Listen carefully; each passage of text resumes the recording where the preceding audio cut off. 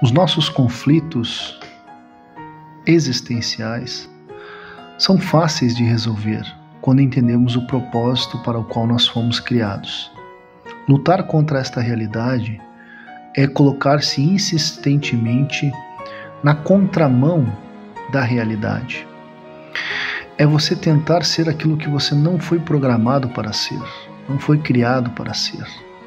Portanto, ainda que você encontre algum tipo de satisfação nessa condição, no final das contas, quando somar tudo o que você fez durante a existência, a conta não vai fechar e você vai ficar em débito e vai sentir sim uma grande decepção consigo mesmo, vai sentir um grande remorso consigo mesmo.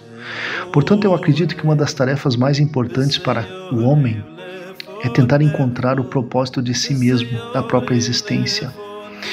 E quanto mais ele demorar para saber que o prazer e a satisfação momentânea não é o propósito para o qual ele foi criado, ele só vai continuar aumentando a carga da frustração que virá.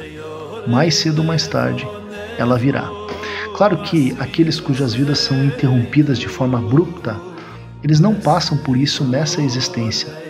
Eles não sentem a frustração e a decepção consigo mesmo. Mas para eles é pior ainda, porque eles vão sentir essa frustração e essa decepção na eternidade. E aí sim, sem nenhum contentamento.